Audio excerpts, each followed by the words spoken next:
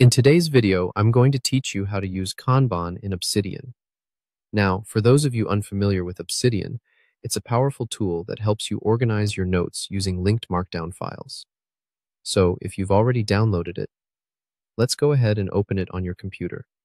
Once you've launched Obsidian, you'll find yourself on the main dashboard. This is where all the magic happens.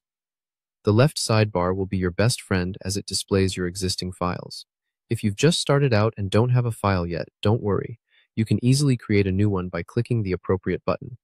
Before we dive right into the Kanban setup, let's make sure that you have the Kanban plugin installed.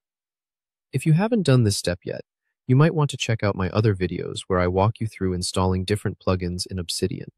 If the Kanban plugin is already in place, let's proceed by focusing our attention on the left sidebar again. This sidebar will have various icons representing the plugins you've got including Kanban. Scroll through until you find the Kanban icon and go ahead and click on it.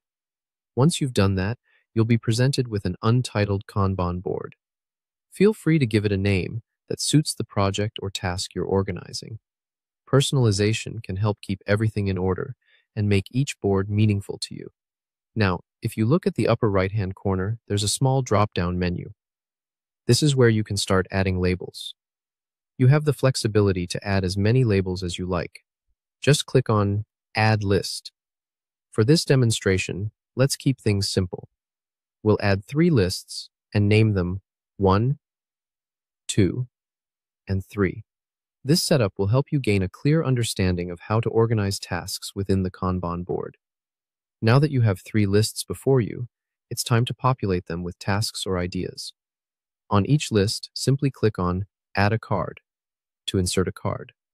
Don't hesitate to add multiple cards, whatever your project requires.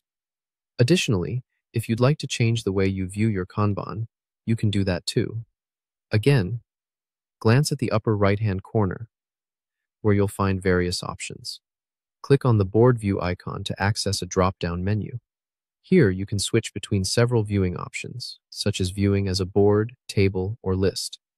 Choose whichever perspective suits your task management style.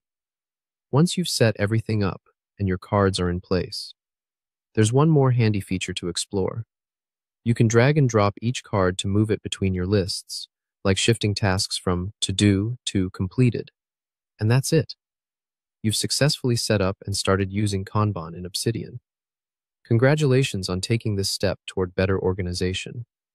Keep practicing and soon you'll be a pro at managing your tasks and projects seamlessly.